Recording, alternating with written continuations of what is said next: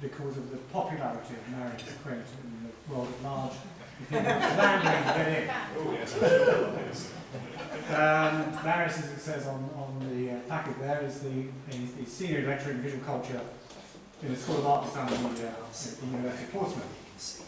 And he's also, um, a lot of us might have seen recently the, the exhibition Brain, the Rockland Collection, which Marius was a senior consultant, author of an essay in the splendid book that was published after that. I just admit, I'm going to put you off on Marius, but I noticed in, in this that your extracurricular include mountain sports and the triathlon, at which you have represented Great Britain. It does say. It does say. It does say for his age group. Yeah. It's very young. Which is still interesting. Anyway, Marius is, this is the title, I think they, Descartes go to the circus. You, group creation of performance. So, so I think that just let you get on with it. Thank you very much, Garry, and um, I love that performative introduction. Um, and uh, also, I should say to, to Robert, and, and, and also Andrew Carney for introducing me to this splendid group and the, the genuine friendship and company that we uh, enjoy, as well as uh, some very interesting talks too, so I've got a lot to uh, measure up to. Well, I wanted in this talk to really just consider, and going back to, particularly in the light of some of the work I did for the Brains exhibition, to go back to a topic that's uh, quite uh, long in the tooth for me, but nevertheless uh, still of interest, which is the topic of my doctoral thesis on the early circus uh, in England uh, in the late 18th and early part of the 19th century. And uh, I've sort of framed my abstract, as it were, that I will consider how performances of trained animals, uh, sorry, trained humans and other animals in the early circus were framed first in terms of Enlightenment rationalism and later to furnish romantic spectacles of sublime and untamed nature. This form of popular entertainment, which had its modern origins in 18th century London, uh, both reflected scientific trends and was credited to a surprising degree with helping to change prevailing attitudes towards animals. So what we're seeing here is arguably um, a production of a, of a, more sympathetic sensibility towards animals, uh, which is partly grounded in experiments that were going on in brain science uh, at the time in the 17th and 18th centuries, as well as changing patterns of uh, middle class, developing middle class sensibilities, which uh, tended to uh, promote um, uh, sympathy towards animals um, as a sort of expression um, of good citizenship. So let's have a look at the origins of the circus. Excuse me. So the, the modern circus has relatively little to do with uh, the ancient Roman circus, which was largely conducted, as you probably know, in an elongated oval, such as the Circus Maximus in Rome, and also reproduced throughout the empire, places like Colchester, for instance. Um, and uh, the modern circus uh, takes place in a ring of approximately 14 meters in diameter. It is really a product of the late 18th century. Uh, indeed, um, the kind of predecessor to the modern circus was beginning to become fashionable in the pleasure gardens and the race courses um, and the fairgrounds of England in particular, but also other European countries, thanks to the travelling exploits of English riding masters during the 1750s. And we have records, for instance, um, of uh, James Boswell writing about his enjoyment of this form of entertainment. It was seen by the standards of the time as being very um, daring uh, to be able to ride on horseback in this manner controlling up to three, as you can see in the background here, cantering horses, um, such as this example by Johnson. Uh, in fact, his name was Thomas Johnston.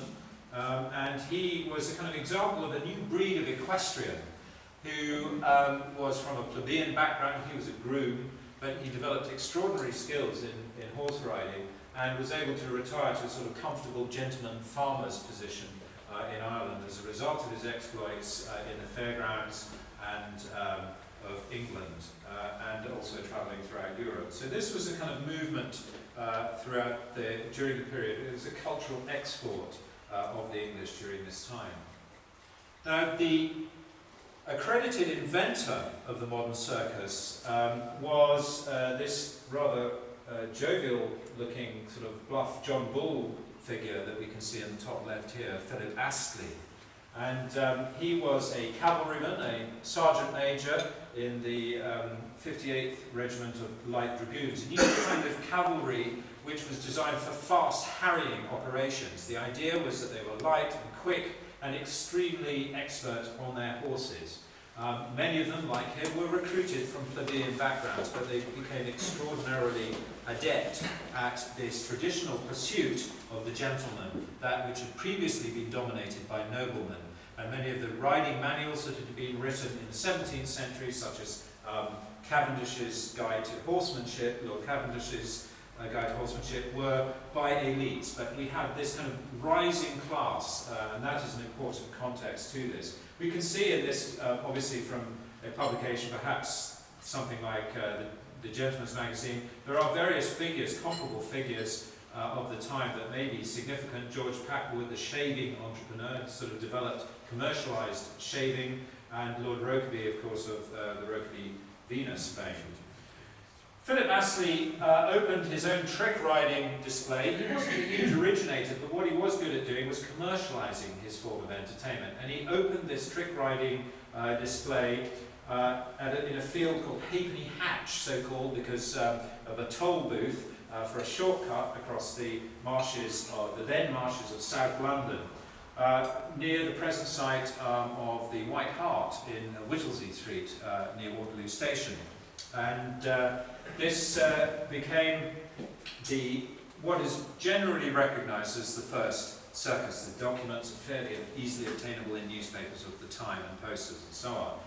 Why is it the first circus? Well, obviously I've shown that there were examples of trick riding in circles and the importance of the horse cannot be um, underestimated uh, overestimated, sorry, but the, uh, the key ingredient here was the presence, if you like, of a kind of mixed form of entertainment. The clown we can see here, the ringmaster dressed in a semi-military or hunting costume, somebody dancing on the back uh, of the horse, going around a rather large ring at this point, as we can see covered uh, premises. And uh, this was rather successful. It became, for Astley as well, uh, a major export, including to France, where there was um, a growth of what was known as Anglomanie during this period as kind of fashionable interest in English culture amongst the um, monarchs of the, and the aristocracy of the Ancien Regime. 1784 he um, displayed, amongst others, to Queen Marie Antoinette at uh, Versailles and uh, Fontainebleau as well.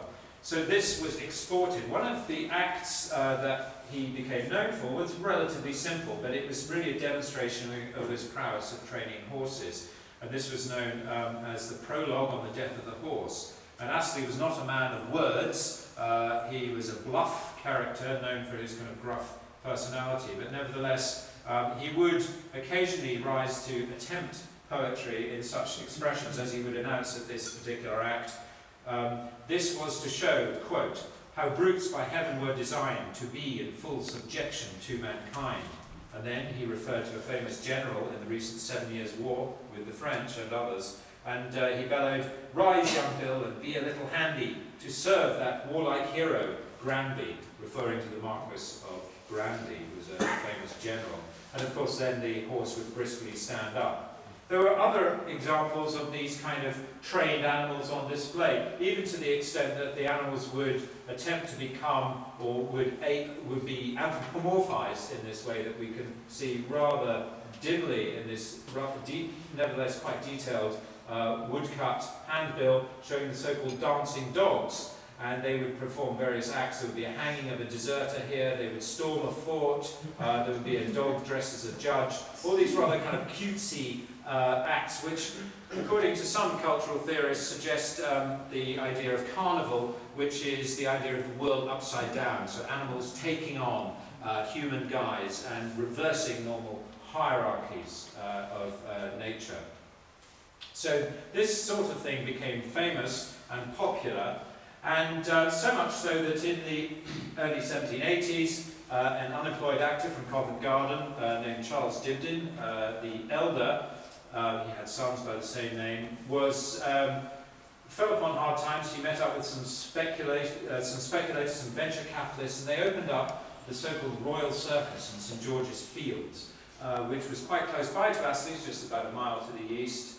Um, at St George's Circus. This was an improving area of the south bank of London. It previously a kind of wilderness of crime, marshiness and squalor was being improved by these various kind of neoclassicizing enterprises, the obelisks you can see at the circus um, here. Circus meaning, of course, the, uh, the round, uh, the, the roundabout essentially. And, but it was also applied to this building here, this rather kind of fine uh, Palladian uh, facade that you can see.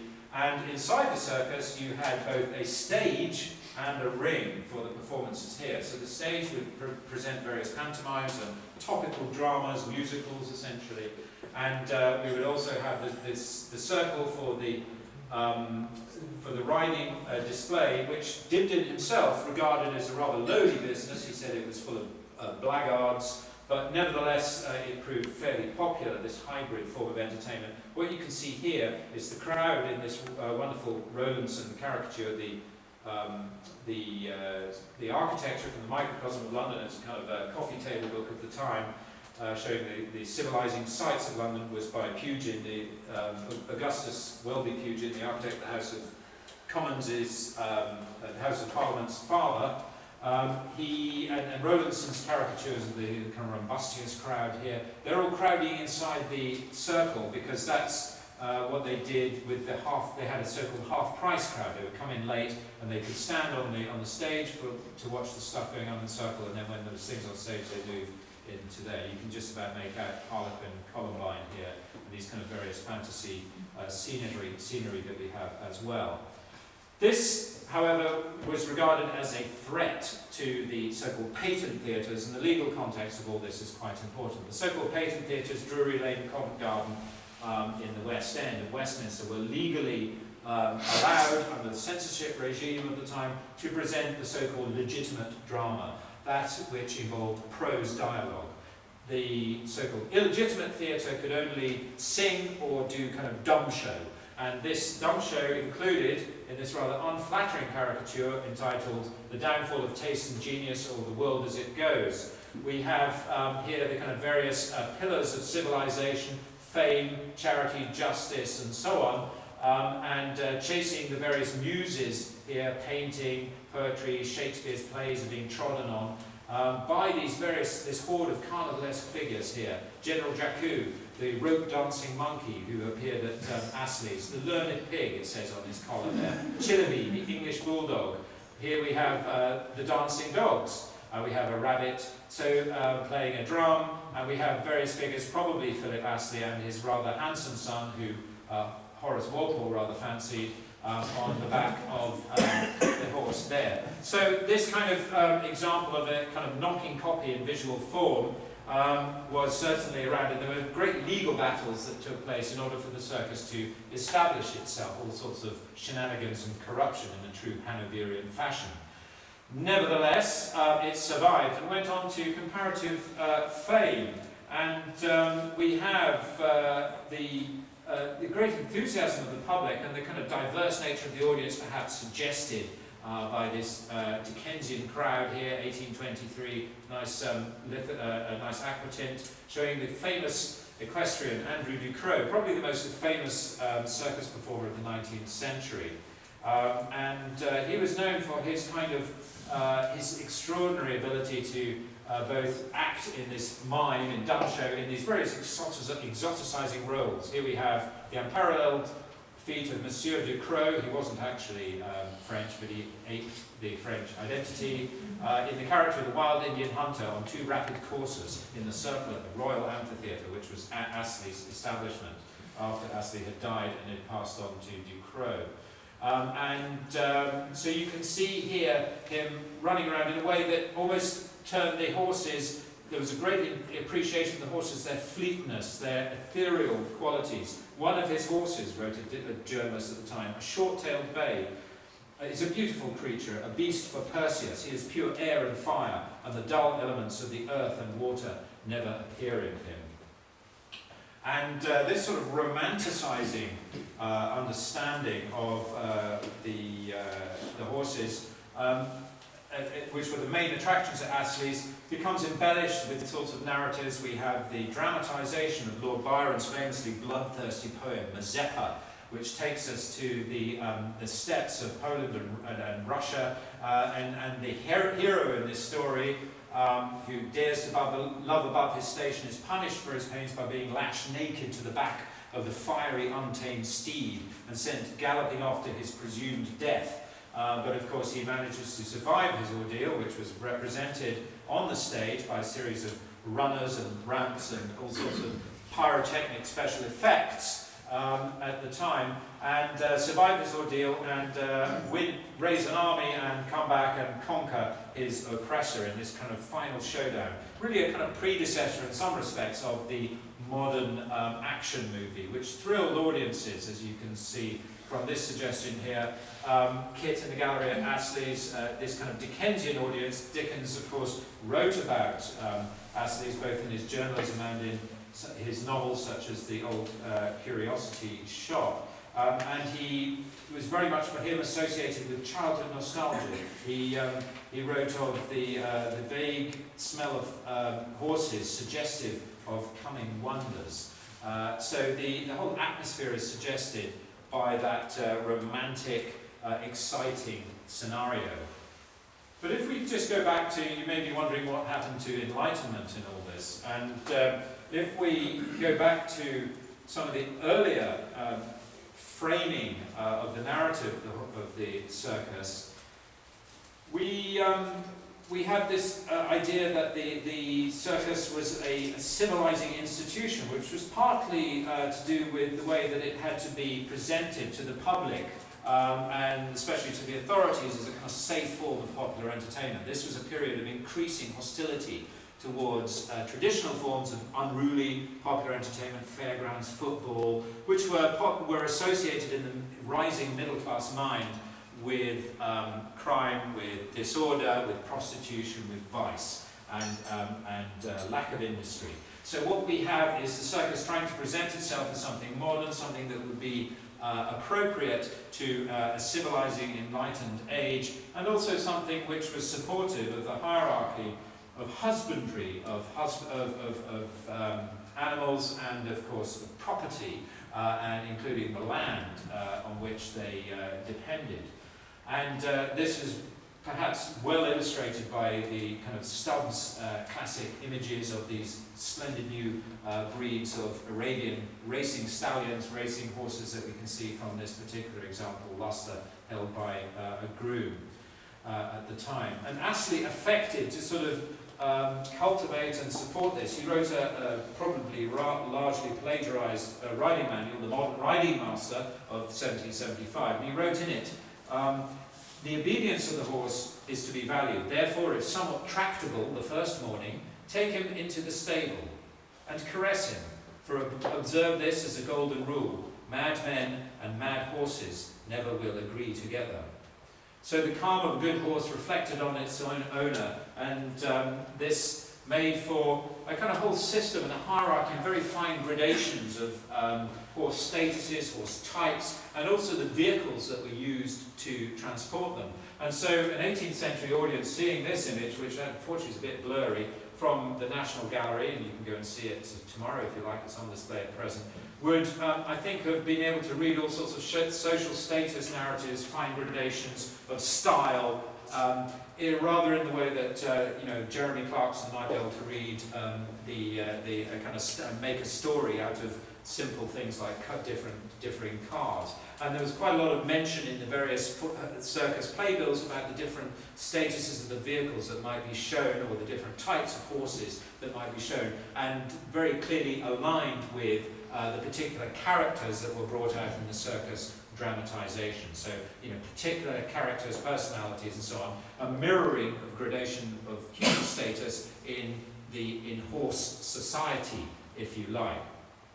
What we, of course, also begin to see in this period, this rather wonderful Whistlejacket uh, by Stubbs also, um, is perhaps a more aestheticized, um, incipiently romantic appreciation uh, of the horse, almost in this, uh, and this is again the quintessential, quintessential uh, almost febrile, capricious Arabian uh, horse, uh, uh, a stallion, almost feminine with its flowing locks and sort of coy look over its uh, shoulder in this way. And um, Stubbs, of course, is well known also for his tremendous uh, work on horse anatomy, the dissections that are shown and drawn in very great detail. Many of those are stored at the um, Yale Centre for British Art. But from the sublime to the ridiculous, we not only have the association of the horse with property and status, but there are also the, the articulation of anxieties about the, um, the use of the horse uh, and the assumption of the horse by uh, the lower orders. Um, so, you know, here is the kind of the horse as social faux pas. Uh, an urban legend which was quickly adopted uh, by the circus as one of its acts. The urban legend of a tailor, um, and tailors were a famously uppity radical group who had uh, very slippery identities because they dealt with uh, fine clothing, they could easily assume, they could dissemble uh, that kind of clothing. And they were associated with political radicalism. Here is a tailor going off to vote for John Wilkes at the Brentford election, and uh, the horse, very uh, wisely, according to the circus audience, uh, refuses to let him do that and ends up throwing him off. And uh, this is shown in this uh, handbill here with the woodcut, uh, which was even exported uh, to France as kind of example, you know, the wiser horse. And there was all sorts of political metaphors uh, developed from this particular idea um, and, uh, it, and used by journalists as well. So if, if someone couldn't support an act uh, by the party leader, they would kind of throw them off like a horse riding to Brentford. But we not only have the comic, we also merge into, as it were, the sublime, the terrible. So the horse begins to be, uh, during this period, and this is in um, conjunction with experiments going on in neuroscience and following the work of, for instance, of, of Boyle and um, of Thomas Willis in Oxford in the 17th century, the growing awareness of uh, animals um, as sympathetic creatures, not simply programmed to behave in ways that are divinely ordained, but uh, as part of a, a, nature, if you like, red in tooth and claw, and indeed possessing a nervous system. And, uh, and uh, so this kind of idea is also uh, suggested by Stubbs in his Horse Devoured by a Lion, and uh, the kind of mental, the emotional state of the animals involved, mirrored, of course, by the landscape with its kind of rather agitated vegetation and uh, rather sort of uh, um, rococo, if you like, looking rocks in this case. Um, so the horse, and this is taken perhaps to a height by Géricault in, um, for instance, The Horse Frightened by Lightning. I was what went into the, I was looking at this the other day, and always useful to listen to audiences around you. Um, and someone obviously who had a knowledge of horses said, yes, horses really do do that when they're um, afraid. They sort of go onto their back legs, ready to spring off, uh, but at the same time rest in this kind of frozen uh, state. And uh, Géricault studied horses at Versailles and um, other way, um, in other places. And we begin to see here this romantic understanding, which was exploited by the circus, of the horse as really a register, um, a means for depicting states of mind, and indeed of reading them. They were quintessentially expressive creatures, suitable for depicting ranges of emotions and social states. And there is almost this kind of anthropomorphization of emotion and the turning of horses because they could be so trained and manipulated into actors uh, in their own right in the drama of the time. And of course, then you also have the eliding of certain social and racial categories, ethnic categories, um, to the, uh, the various states of horses. And certain others, other peoples, were in the kind of imperial panoply were regarded as having a kind of natural affinity with horses. Arabs with the Arab horses, for instance, fighting in a stable. So the natural violent state of nature perhaps uh, suggested here. And also kind of sexual frissons going on as well. Rosa Bonheur, uh, famously uh, would venture into stables, uh, and this was thought, uh, you know, a, a, a somewhat uh, outre thing to do. Um, with uh, she wear trousers to enable her to sort of move more easily in that environment. So this all this kind of seething horseflesh that we see suggested in the horse fair of 1854 has also become a point of interest. This particular painting for feminist art history scholars. And I don't think it's unreasonable to point to painting as a kind of indicative medium that Martin Meisel in his fantastic book Realizations, um, which is, looks at the interconnections between the narrative, dramatic and pictorial arts of the time, suggests that there was, in this period, a, a fundamentally pictorial mentality that took hold of literature, that took hold of the stage, um, and it was very much to do with the demonstration, making moral statements through gesture at this time. The, uh, in particular, um, the, the circus and the stage would have moments of tableau in which paintings would be uh, suggested or even directly quoted. Uh, perhaps a rather lame quote in this example, the Royal Circus, a, a horse uh, with fireworks firing off it, um, also showing its kind of calmness on the fire, if you like. But the romantic image of the horse was very much uh, incipient uh, in this period and generalized. So it was not only in elite form such as uh, David's paintings, but also you know, in the cheapest of uh, penny circuses in Greenwich, such as this on the Royal Circus in Bridge Street, uh, Greenwich. So we're again coming back to enlightenment in this. Um, and uh, where is the science? Well, the science was probably superficial. It was probably largely rhetorical. It was nevertheless, there were kind of elements of uh, the circus being uh, aligned with modernization. And uh, this is something that Astley was very keen to cultivate as a kind of philanthropic individual, an entrepreneur of this former wilderness of South London, uh, he wasn't just adding to the crime and squalor and dissolution of the theatre, traditional dissolution of the theatre world. He was attempting uh, to uh, bring science, scientific experiments, partly through his cosmopolitan associations with Paris in the uh, late period of the Ancien Regime, 1784. So this is the same year as uh, the Montgolfier brothers, or I think the year after, uh, within certainly within months of the Montgolfier brothers in Paris launching their hot air balloon he would do so um, in, uh, in, on the south bank of London. Uh, Mr. Astley, three curious balloons. So this is his um, extraordinary house he built, which is called Hercules Hall. You've still got, I think, Hercules Row uh, down there um, in, uh, near Waterloo Station, named after this. Um, Hercules, of course, was his idea. The, the power of Hercules was what the trained circus performer could display.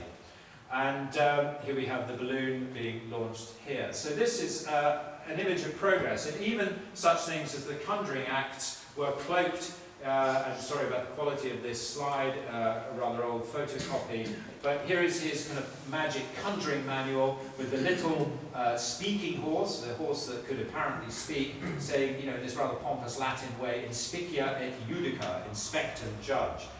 And um, even things like uh, the freak, so-called freaks that he displayed, um, a short man here, uh, Mynheer Wybrand Lolkes, a celebrated man in miniature from Zelst in West Friesland, 60 years of age. Uh, the presentation is of a kind of respectable Dutch uh, bourgeois with his uh, normally proportioned wife, uh, and the narrative here says that he had children of uh, average stature and so on. Uh, uh, whereas on the other hand, you have this kind of oscillation between you know, the normalizing and the exotic mode, which carries on into the freak shows of the 20th century. We have these supposed monstrous craws, which were in fact um, three individuals from the Italian Alps who apparently, because of iodine levels in the local water supply, developed large goiters. So, where does this bring us, um, and uh, where is Descartes uh, in all this? Well, um, much of the, uh, so I'm just coming back to, yeah, so the, how did it change attitudes? I mean, the lot of the circus was um, clearly something that was regarded as light entertainment, uh, and that is clear. Nevertheless, there were concerns not only about the cruelty of the training methods, and real concerns and some parliamentary inquiries in the 1820s when anti-cruelty legislation started to be um, enacted uh, as to how the, uh, the circus achieved its, um, its, its, uh, its tricks. But also there was some relatively serious uh, comment on you know, what all this meant for our understanding of uh, human-animal relations and the relative uh, position of animals and humans in the in creation.